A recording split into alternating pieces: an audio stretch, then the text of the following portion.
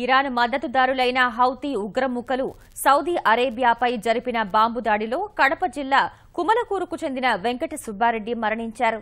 ఇదే గ్రామానికి చెందిన సుధాకర్ గాయపడ్డారు. సౌదీ అరేబియా సరిహద్దు పట్టణం నజ్రాన్లో వెంకట సుబ్బారెడ్డి మూగజీవాలు మేపుతుండగా దాడి జరిగింది. నెల్లూరు జిల్లా సోమశిల జలాశయం నిర్మాణంతో వెంకట సుబ్బారెడ్డి భూములు కోల్పోయారు.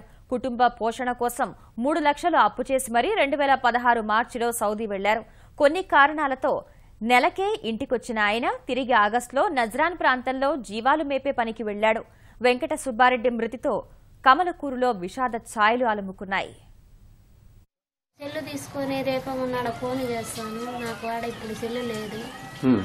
అని మాట్లాడింది సార్ ఇంట్లో విషయం మాకు సాయంత్రం ఐదున్నరకు తెలిసింది సార్. నేను బద్వేలు బద్వేలుకి వెళ్తాను అని చెప్పిన సార్. వెళ్ళి రమ్మన్నాడు సార్. అప్పులు ఉన్నాయి పొదుపు డబ్బులు తెచ్చుకొని కంతులు కడతామని చెప్పిన సార్. తెచ్చి కట్టేయి నేను కంతులకు డబ్బులు పంపించమంటా అని చెప్పాను సార్.